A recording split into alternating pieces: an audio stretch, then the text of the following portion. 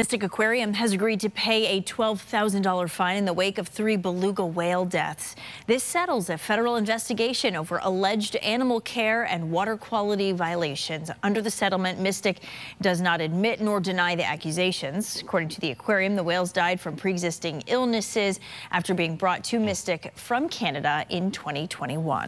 Now